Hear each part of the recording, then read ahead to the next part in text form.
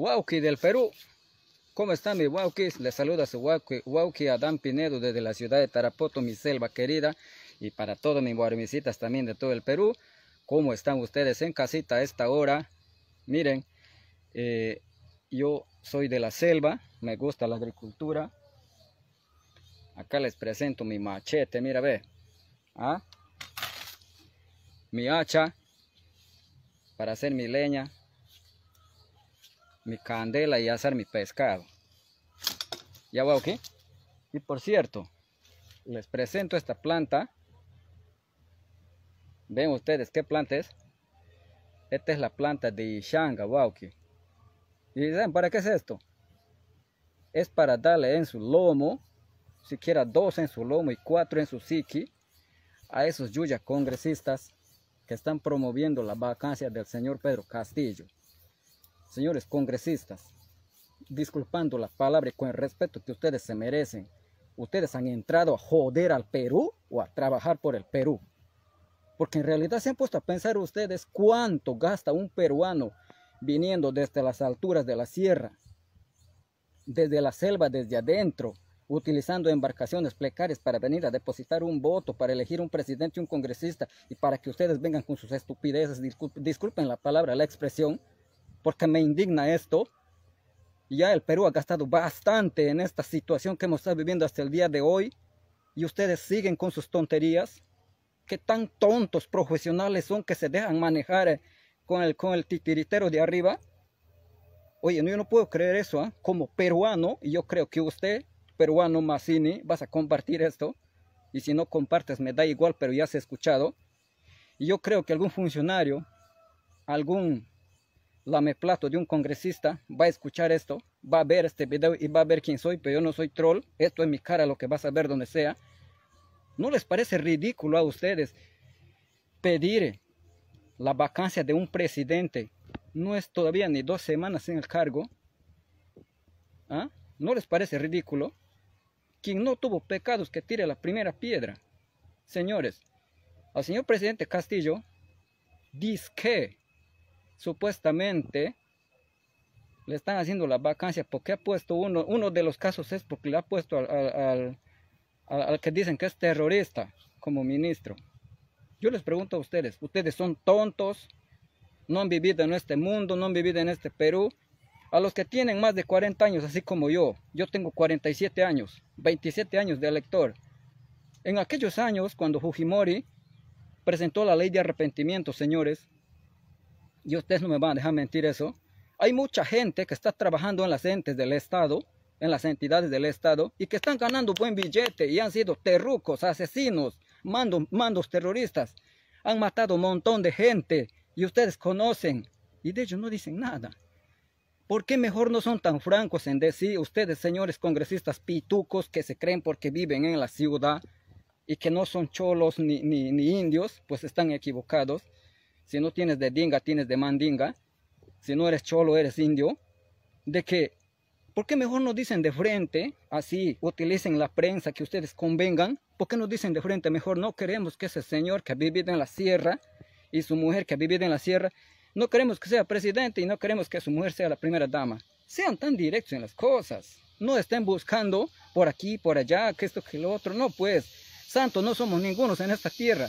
Todos tenemos errores. Yo, tú, él, ellos, nosotros, vosotros tenemos errores. Por eso estamos en esta tierra. ¿Ya? Así es que a mí me parece ridículo, estúpido como peruano que ustedes estén promoviendo pues la vacancia de un presidente a pocas horas nada más de haber asumido el cargo. Mejor sería que el señor presidente Castillo disuelva el Congreso y todos ustedes se van. Así como quien dice a la mierda Juan Sánchez váyanse todos a sus casas porque ustedes no han venido a trabajar. Ustedes han venido a fregar la paciencia.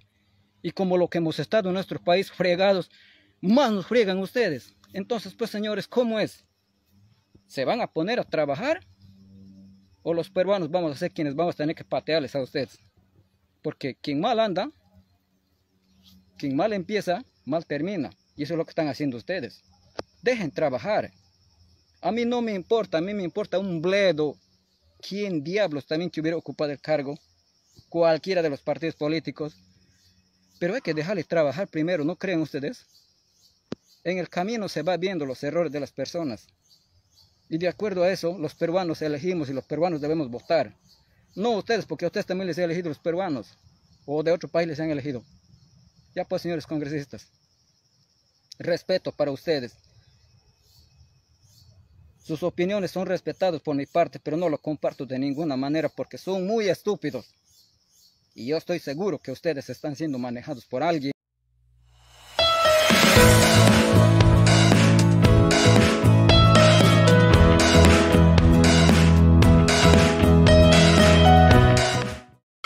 Lunes 9 de agosto del 2021. Seas muy bienvenido. Soy Wilmer Domínguez Remar y este es un nuevo programa para el canal Inti Noticias. No soy periodista, no soy académico, no soy ni siquiera investigador. Soy un simple curioso, un simple curioso que trata de saber la verdad. La verdad de la política, pero también la verdad de los asuntos más trascendentales de la existencia humana. En esta oportunidad vamos a hablar de la esencia de las cosas. Sí, de la esencia de lo que es importante no solo para el Perú como país, sino para la vida de cualquier ser humano, en este caso la mía. Como solamente podemos hablar con propiedad acerca de nosotros mismos, porque es a quien nos conocemos, al menos un poquito, en esta ocasión quisiera tratar un tema que me ha apasionado los últimos años de mi vida y tiene que ver con la esencia de las cosas.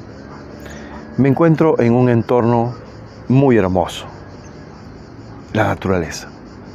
Cualquier lugar de la naturaleza es por sí misma una belleza. De la naturaleza proceden todas las cosas. Por eso, nuestras culturas milenarias le llaman a la naturaleza la madre tierra, la Pachamama. Y la Pachamama nos da la vida, pero no solo la madre tierra nos da la vida, también necesitamos sol, el Taita Inti, como le dicen los hermanos quechuas. También necesitamos el aire y el agua. Tierra, aire, agua y fuego son los cuatro elementos. Y esos cuatro elementos, cuando se fusionan, se unen, dan la vida. Aquí en la tierra nos encontramos con todo tipo de animales, microorganismos,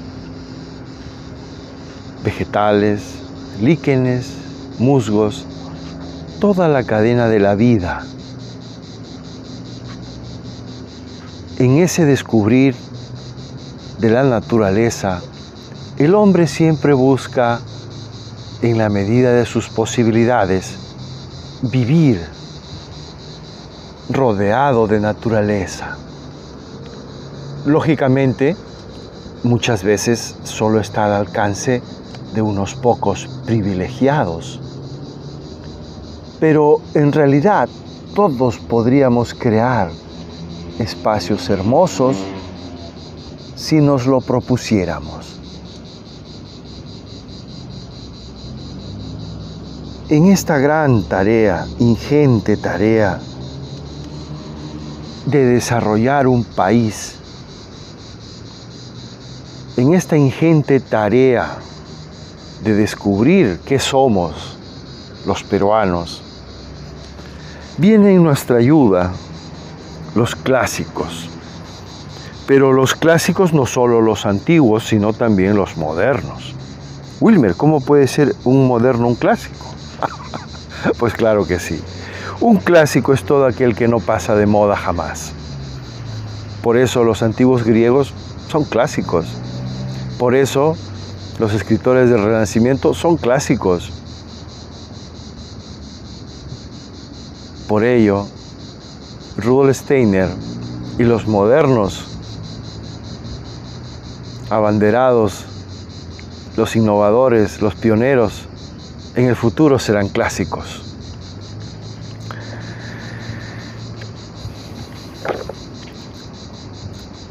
El ya fallecido Sergei Prokofiev, el erudito más lúcido y completo de la ciencia espiritual de Steiner, interpreta las consideraciones anteriores traduciendo de forma diferente la cita acerca de lo que constituye bueno y malo desde el punto de vista de la filosofía de la libertad. Lo bueno y lo malo. ¿Qué político es bueno? ¿Qué político es malo? ¿Qué partido es bueno? ¿Qué partido es malo? Al final, tenemos que elegir siempre o procurar elegir el mejor, el bueno. Elegir el malo o el menos malo, como nos hacen creer a veces, es un error. No. Siempre debemos elegir el mejor, el bueno pues. Pero en esta confusión en la cual los buenos se presentan como malos o los malos se hacen pasar por buenos y al final acabamos votando al menos malo, pero después nos damos cuenta que en realidad el menos malo era el peor y viceversa y todo es una confusión. ¿Qué hacer? ¿Cómo encontrar una guía certera y segura para podernos orientar mínimamente?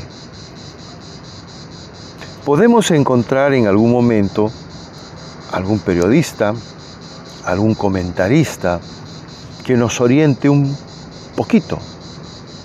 Pero no siempre vamos a poder seguir esa fuente. No siempre vamos a poder tener acceso a esas fuentes fidedignas. En realidad, todos deberíamos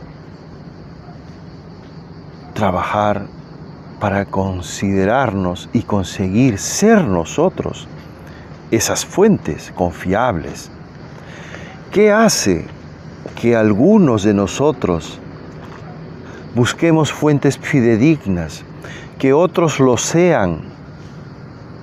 ¿No podemos acaso nosotros convertirnos en fuentes fidedignas de información? ¿Tenemos que estar siempre buscando la información fuera de nosotros? ¿Acaso no existe algún cuerpo de conocimientos mínimo, básico, elemental, por el cual yo pueda estudiarlo y a partir de ahí pueda yo convertirme en esa fuente fidedigna de conocimientos al interpretar de manera lo más correcta, lo más cercana a la verdad posible los fenómenos, circunstancias o acontecimientos que ocurren?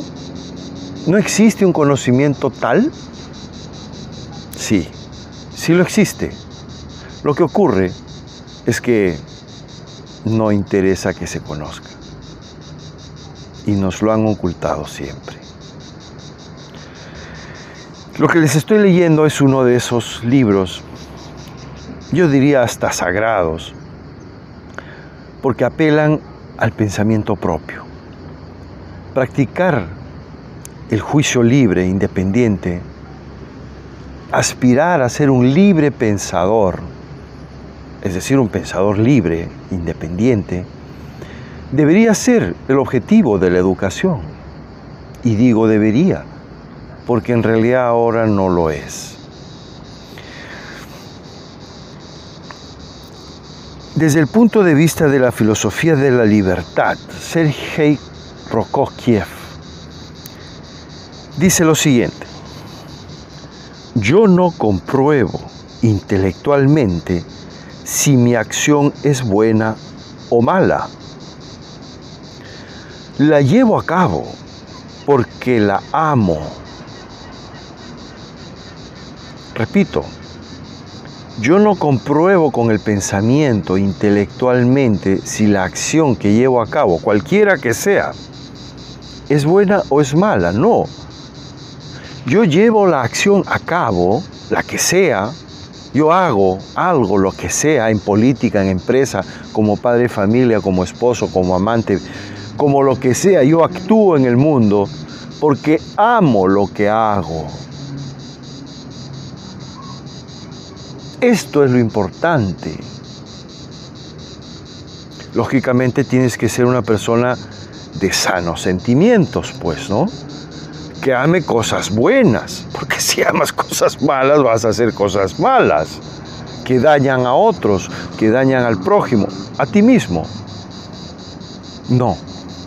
La clave es actuar por amor a lo que haces y que eso que haces es bueno, porque lo amas y porque tu corazón es bueno, limpio y transparente. Yo no compruebo repito, leyendo a Prokofiev, yo no compruebo intelectualmente si mi acción es buena o mala, la llevo a cabo porque la amo. Será buena si mi intuición, impregnada de amor, encuentre el lugar correcto dentro del continuo del mundo experimentado intuitivamente. Será mala en caso contrario. ¿Qué quiere decir encontrar el lugar correcto dentro del continuo del mundo experimentado intuitivamente? Aquí debemos detenernos un momento, intuitivamente intuición. Pocas veces pensamos en la intuición. Muy pocas veces en realidad. A veces decimos que tenemos intuiciones Y nos queremos referir a tener una intuición como que a, nos anticipamos a ver el futuro. Intuyo algo que va a pasar. Intuyo que esta persona es buena. Intuyo que puede ocurrir algo bueno. Queda algo muy que no podemos controlar. Pero ¿no será acaso la intuición algo distinto al propio pensar o al propio imaginar? Es decir, una capacidad susceptible de ser desarrollada. ¿Por qué nos hemos de conformar con tener una idea, un concepto sobre lo que es intuición, que sea borrosa, nebulosa? ¿Por qué no podemos preocuparnos en investigar y conocer a fondo lo que es intuición? Y si en realidad intuición es posible, susceptible de ser desarrollada cada vez a grados más elevados y profundos de perfección. ¿No será acaso el conocer lo que es intuición, pensar, sentir, querer, amar en profundidad, lo que verdaderamente nos hace seres humanos? ¿No será acaso que esos conocimientos son los que desde milenios de existencia del ser humano en la tierra andamos buscando, tratando de encontrar respuestas? ¿No será acaso esa la mayor y más importante finalidad de toda vida humana? Nos debemos plantear estas cosas. Al fin de cuentas, un proyecto político con muy buenas intenciones, pasará. Y si ha sido bueno para la sociedad, tal vez se consolide y desarrolle una sociedad nueva. Tal vez no sea posible, tal vez la propia gente no entendió ese proceso de transformación y lo traicionó y lo abandonó muy pronto. Quizás las fuerzas opositoras a esa gran transformación sean tan poderosas y tengan tanto dominio y control sobre la población que le hagan creer a esta población que esa gran transformación es una quimera, una mentira, un engaño al final. Muchas cosas pueden pasar. Pero lo que no puede pasar jamás es nuestra responsabilidad como seres humanos con nuestra propia vida, con nuestra propia existencia seas de izquierda o seas de derecha, apoyes a López Aliaga o al profesor Castillo o a Keiko o Barnechea o a quien sea, tu responsabilidad mayor es contigo mismo. Y el día de tu muerte, el día de nuestra muerte llegará. Podremos decir ese día, marcho en paz.